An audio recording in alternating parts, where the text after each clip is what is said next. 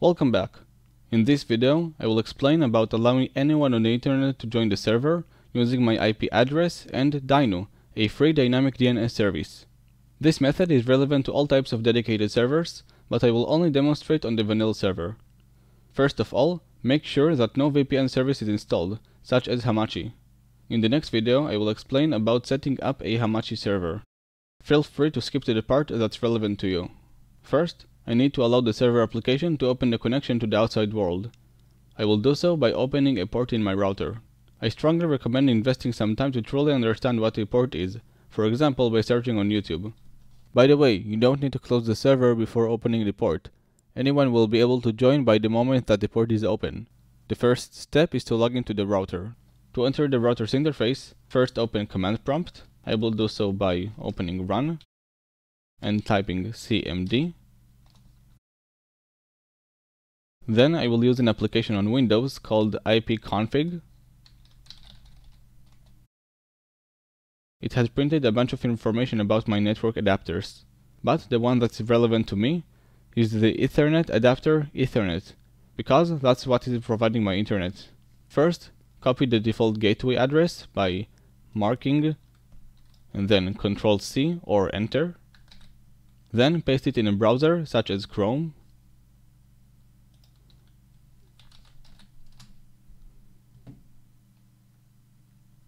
and log into the router. In some routers, the username and password are admin, and in others, the username is probably admin and the password is password. If you can't log in, contact your ISP or internet service provider and ask the support representative to open a port for you. The port number is 25565 and the protocols are TCP and UDP. Although, keep in mind that some ISPs will charge a monthly fee for the port to stay open. In that case, you can probably get away from it by replacing your router so that the login credentials of the new one may be simpler. I will use portforward.com to find out how to open a port in my router. But first, I need to know what my router's model is. The model of your router is physically written on it. My router's model happens to be right in this gateway panel. Okay, let's search it.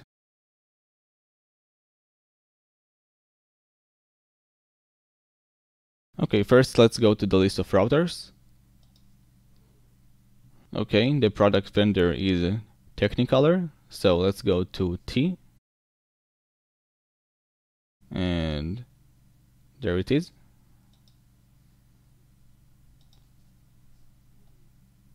Okay, next, in the product name, I will copy this one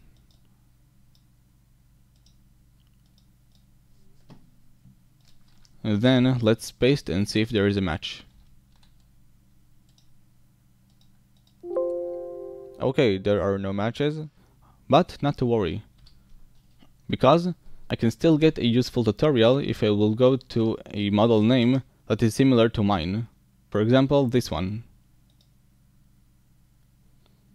Since I already logged into the router, I will skip to the third step Okay, so find the WAN services box located near the center of the screen and click it. Okay, let's first close it. Then WAN services. Alrighty. Then, to start adding an entry, scroll to the IP version 4 port forwarding section and click the button called add new IPv4 port mapping. Okay, so this is the section and I need to click this one. Okay, thank you website. Now in the port name, give it a memorable name, so you'll know later why you opened it in the first place. For example, Minecraft. Then in protocol, pick TCP and UDP, it may be written like here as TCP slash UDP. In other routers it may simply be both, and in some routers there won't be an option like this, but only those options. If this is your case, you will have to open two ports, one that is using TCP and the other that is using UDP. In the WAN port and the LAN port, I will put 25565. In your router, you may see this as port in and port out, or other stuff, and in destination IP, you simply need to use the IP version 4 of your computer. So, back to command prompt. This is basically this address.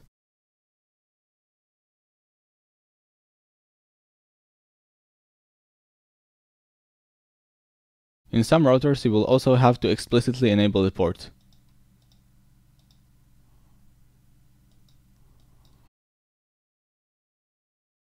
Excellent. Now that the port is open, anyone on the internet can join my server as long as it's running. The way to let others join is by giving them my public IP address. To find out what it is, just Google IP.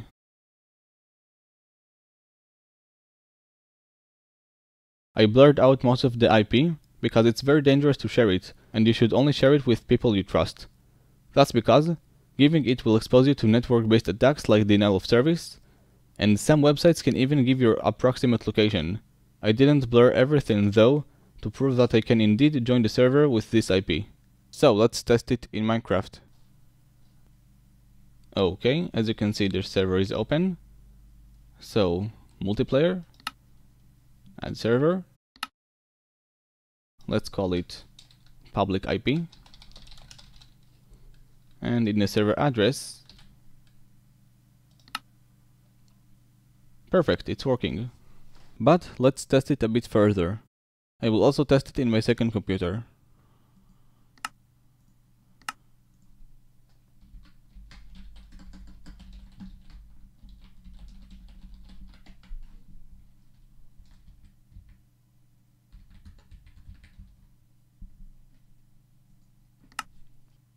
And it's working as well. But let's verify it even further by changing the source of the internet connection, because right now it's connected via Wi-Fi to the router. And refresh. And it's still working, perfect. If your IP version 4 changes often, by the time it changes, players won't be able to join your server until you update the new IP in the port. To fix this, you can set the local IP to be static, which boils down to setting it manually. First, open the properties of your network adapter by right-clicking the network icon, then open Network and Internet Settings, change adapter options, right-click the network adapter that provides your internet connection, Properties, Internet Protocol version 4 and select use the following IP address. Now in IP address you have to give the IP version 4 address of your computer except the number after the last dot can be whatever you want. In my case, this IP address must begin with 192.168.1 and then after the dot it can be whatever I want. I will simply stick to this address so I don't have to update the port.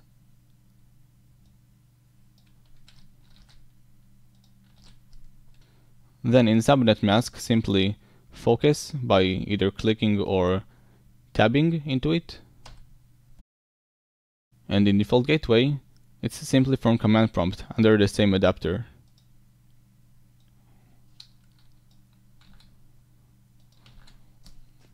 Now, as you can see, the obtained DNS server address automatically is disabled.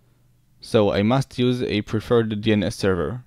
I will use the popular service 1.1.1.1 then check validate settings upon exit so that if something goes wrong, Windows will let you revert back and restore your internet connection.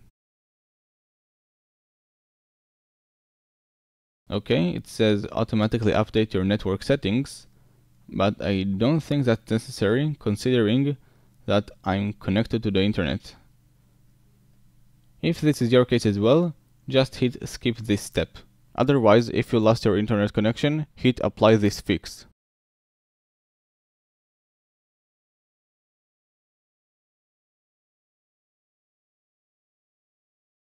And Now my IP version 4 is static.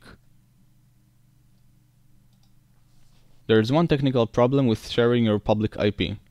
Similarly to your local IP, your public IP may change as well, for many reasons, such as if your router reboots.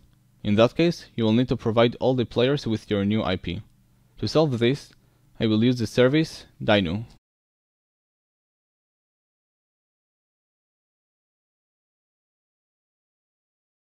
This service will allow you to provide a domain that will be linked to your public IP, and their desktop application, Dynu IP Update Client, will make sure that the domain will always be linked to your updated IP. First, sign up or sign into the website.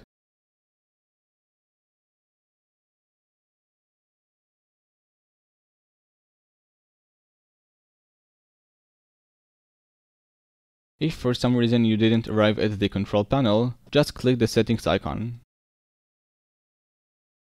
Then click DDNS Services, click Add, and choose your domain. In the host, I will pick tutorial, and in the top level, pick your domain. I will pick loseyourip.com, so that your friends will log into the server using tutorial.loseyourip.com. Perfect. Let's test it.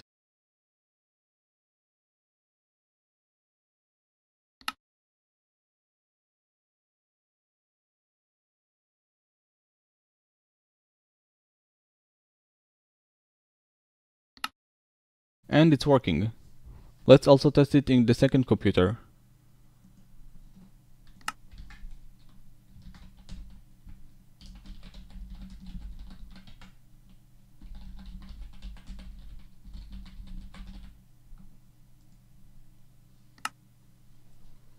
And it's working as well. Now to download Dynu IP Update Client, return to the control panel, go to Downloads, and download the latest Windows application. Then simply open the zip, double click the exe, and install. Now log into your Dynu account.